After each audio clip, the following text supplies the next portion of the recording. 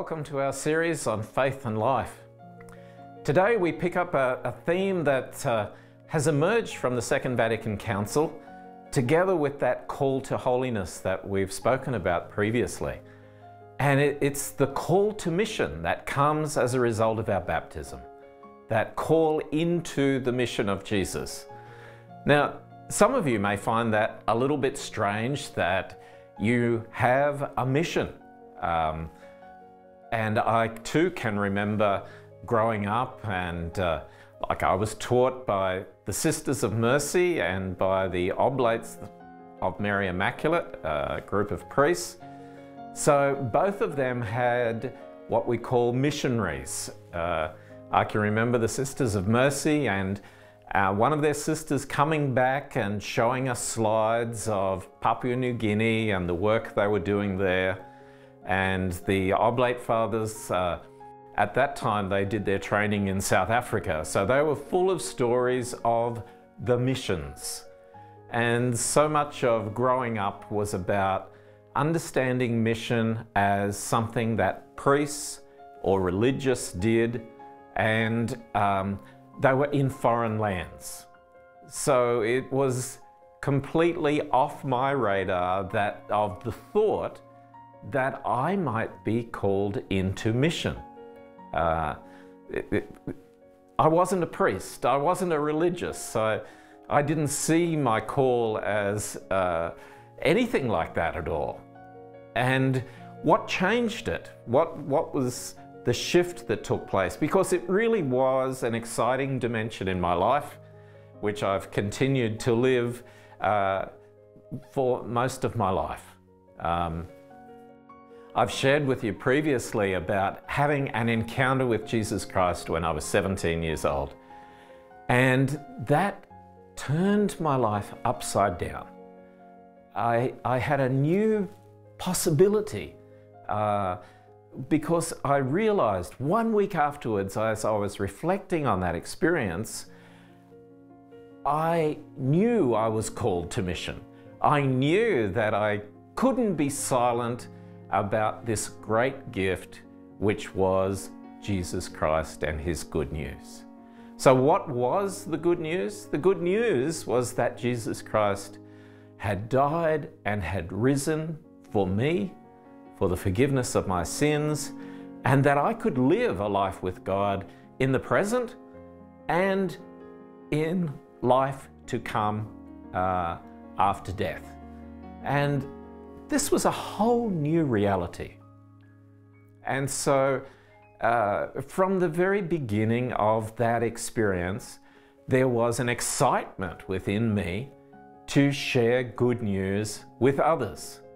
Why? Because I knew that it had the capacity to change lives. I knew what it had done in my life and in the life of some of my friends who'd experienced that with me. Um, but I saw it in the lives of others as well.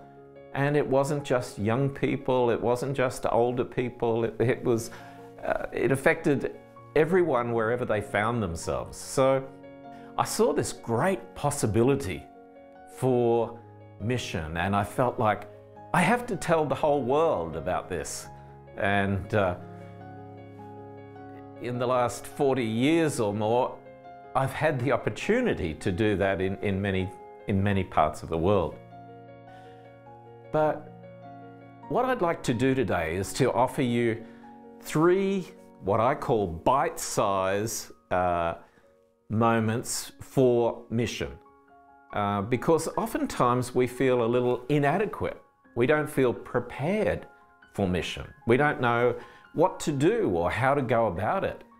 And uh, of course, there's many aspects to mission, and we all bring different gifts to it. And as we've spoken about, mission can be about providing a home for people, providing a place of welcome for people. But in uh, today, what I want to share with you are three points. The first of which is the capacity to tell our story. And each person's story is quite unique. Uh, you might remember Mary Magdalene, after uh, Jesus was crucified and risen from the dead. She met him in the garden and she thought he was the gardener. And it wasn't till he spoke her name that she knew it was Jesus.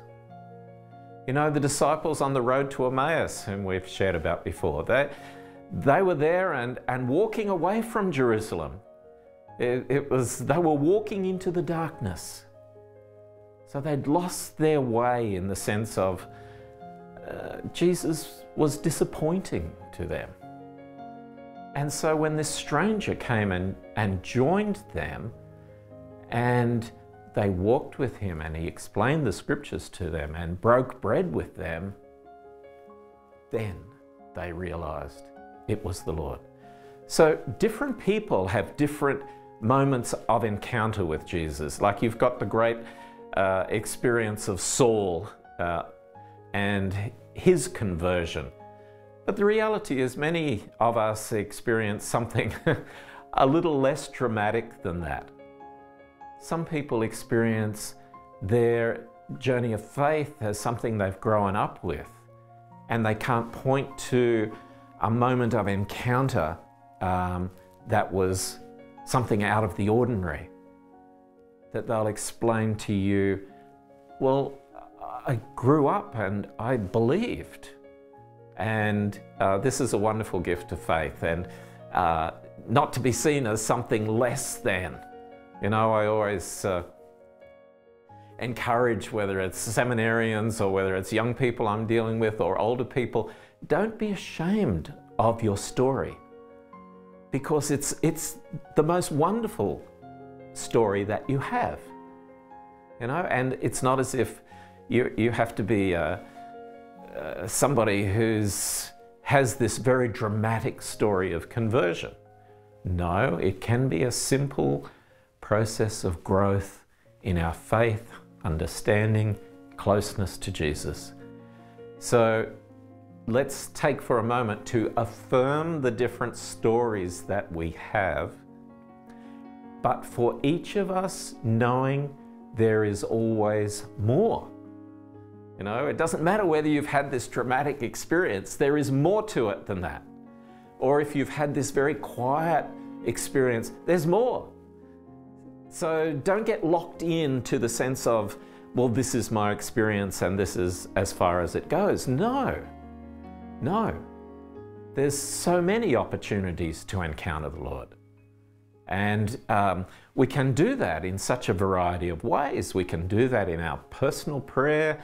We can do that in the sacraments. We can do that in a whole range of different ways. God is capable of working with us wherever we are. And in my story, this encounter with God came in a science laboratory at school. So let's not limit the work of God and let's not say it's just a one off story that we have because we're meant to have an ongoing encounter and personal relationship with the Lord. So there should be many stories that we can actually draw from. So that capacity to tell our story, to tell how God has impacted my life, to be able to share with others the reality of a God who can be personal to us. You know, in, in my experience of life, I didn't know you could have a personal relationship with God. I didn't know you could encounter Jesus. I didn't know these things. So they were, they were all new to me. And so when we begin to talk about sharing our story, we, we come from our own life experience. And no one can say to you, oh, well, that's not real, or I don't believe that. It doesn't matter whether people believe it or don't believe it. This is the truth of your journey, of your encounter with the risen Jesus. And it's okay that we have different stories.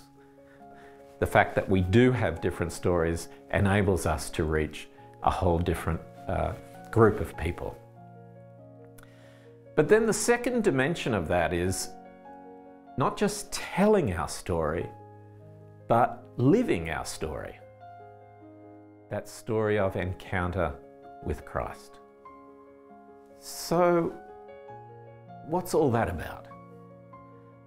You know, more than, uh, what is it, nine, since 1975, Pope Paul VI wrote an apostolic exhortation called Evangelization in the Modern World.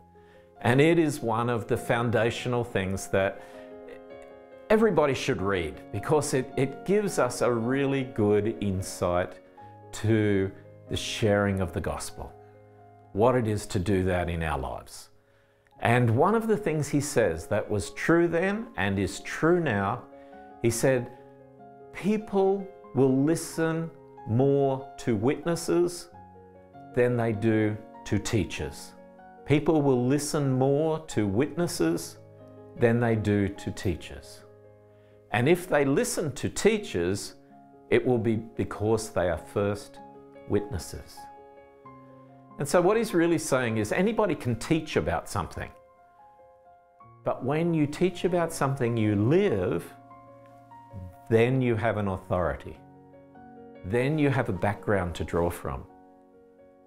And so it was a, a great emphasis on that personal encounter with the living God, with the risen Jesus, that he was talking about and saying, unless there's something of that in our lives, unless there's an authenticity that we're actually speaking about what we're living, it's not an empty preaching, it's a preaching that comes with conviction, then it won't have any impact.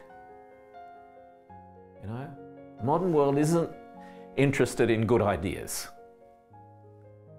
It's interested in authenticity of people who not only have good ideas, but actually live good ideas. And those good ideas are about the gospel. And uh, this was the whole emphasis of Pope John Paul II with the new evangelization. He said, we need, we need new power, we need new, new courage to proclaim the gospel, we need new methods and new expressions. And so there's, there is a sense of newness, but it's the same gospel. And it's a gospel which has to be taken into our lives and lived in our lives. And so this sense of living becomes really important. So, the capacity one, to tell our story, two, the authenticity of living our story of encounter with Christ. number three, it's like, well, how can we do this in a practical day to day sort of way? Now, a little while ago, I was in a, a regional city and uh, working with people who uh, lived in fairly remote areas and they were asking the questions well, what can we do? We don't have a big platform to, to announce the gospel to people. We, we, our lives are simple. We're working hard. We're in rural areas. We work on farms. What can we do? And many of these were, were women who uh, were faith filled you know, they, they had a strong faith and they wanted to do something about it. They, they felt that same sort of conviction that I spoke about. And it struck me that there was something very simple that they could actually do and uh, incorporate that into their day to day lives. And it's something that Pope Francis has uh, encouraged in the church. And it, the word is accompaniment. Accompaniment. Now, that's a word that we, we may or may not have heard before, um, but it's a word about being with people on the journey. And anyone who has an ongoing and living relationship of faith with the Lord is capable of accompanying somebody else. So you don't have to be an expert. although in the life of the church we do have people who are experts and well trained, and it comes from that whole spiritual tradition of, of spiritual direction and uh, people of wisdom whom you can go to to gain uh, wisdom for the spiritual life. But in this case, you know, Pope Francis said, we need to initiate everyone into this art of accompaniment. So whether it's lay people, whether it's uh, priests or religious, this is a this is a, a way of doing mission which everyone can participate in, and you do it at your own level. So, for example, um, you may have somebody over for coffee, and uh, or uh, you may have somebody visiting your house. Just um, particularly in rural areas where people go to one another's places and and uh, take a, a, little bit of time for some uh, just good company. And in the course of the conversation, there can be a sharing of faith. Well, the people who are at this conference were saying, this is so exciting for us because this is something that we can incorporate into our daily lives. This is something that, that can work for us. You know, we don't have to be uh, on the street corner. Nobody has to be on the street corner. Uh, because that's, that's one of those images of mission that sometimes puts us off and makes us uh, scared of mission. Um, but it's something that I can do peacefully, that I can invite people into my home, that we can sit around and have a coffee together, or we can work together and uh, Sometimes accompaniment is quite intentional. Other times it's something that we do as a result of uh, people's questioning. So there's uh, many occasions where people question faith and say, why would you believe? Why do you go to church on Sunday? What is it that gives you comfort in times of difficulty. How do you survive in these difficult circumstances? There are many questions that open the door to sharing about faith. And these people caught the vision. And it's like, yeah, we don't, we don't always have to be, it's not as if we always have to be talking about God. But we can help people take another step. And so, whether you're a young person or an older person, somebody who's quite uh, gifted in their, their life of faith, or somebody who is new, I love seeing this with young people. They're, they're unafraid, and uh, because it, it's a great gift that they've discovered in their lives, and uh, one of the first things they naturally want to do is to speak to their friends. Now, that's always not a receptive uh, path to go down. You know, there's uh, Australia is one of the most secular nations in the world, and so this sharing of faith, this capacity to accompany others on a one-to-one level is something quite unique. Um, and it's important to give people the confidence that they can actually do this. Now, the other reality to that is that we have less and less people who go to church. You know, we have a, a, a very fast growing number of people who are non believers. And you know, it's not difficult to meet people who've never heard of the gospel or they have only scant knowledge of it. But my question is how are they going to hear about the gospel? How are they going to hear the good news of Jesus Christ? If somebody doesn't tell them. because they won't hear it in church. They're not going to church. So, where else are they going to hear it? Ultimately, it will only be through personal relationships, through people who actually themselves believe in the gospel and have had an encounter with Christ and who are seeking to live that encounter day by day. And unless that becomes visible, unless somebody says, no, the gospel's real, this is how it's affected my life, and this is now what I'm trying to live. Without that sort of witness, the proclamation of the gospel, certainly in this country, is seriously diminished.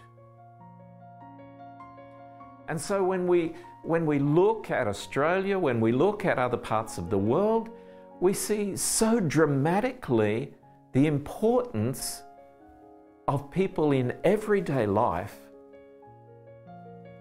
becoming witnesses, missionaries. We may feel that that title doesn't belong to us, but in fact it does. Our baptism commissions us to be missionaries. And so let me encourage you to take up that call, that gift of bringing life, the life of the gospel to others and sharing with them freely the incredible gift of Jesus Christ who's risen from the dead and who's come to give us life to the full. That's the challenge for today. Let's try and take it up and be faithful.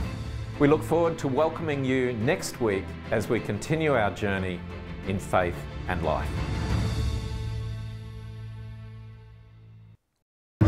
I'm Bishop Eugene Hurley from the Diocese of Darwin, which takes in the whole of the Northern Territory of Australia. And I'm delighted that Shalom Ministry is now in a position to bring some of that good news to the rest of Australia and indeed to the world. Because we live in a world where the media is so influential, it dictates so much of our learning and our attitudes. And so it's so important that the good news of Jesus Christ has to be made available to all people because it's what we each need as human beings to enliven us, to make us more loving, and indeed to bring about peace in the world. So it's this good news that the Shalom Ministry is trying to get across to Australia now. Let me invoke God's blessing upon Shalom Ministry and all who work within it and all who are the subject of its good work. May the blessed Almighty God, Father, Son, and Holy Spirit descend upon the Shalom ministry and all who work in it and all their families may keep them at peace forever. Amen. Shalom World, God's own channel